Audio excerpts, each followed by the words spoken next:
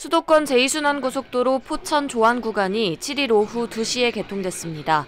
민간 투자 사업 방식으로 추진된 포천 화도 구간 28.71km와 재정 사업 방식의 화도 조안 구간 4.92km가 동시에 개통되면서 우리나라는 고속도로 총 연장 5,000km 시대에 접어들게 된 겁니다.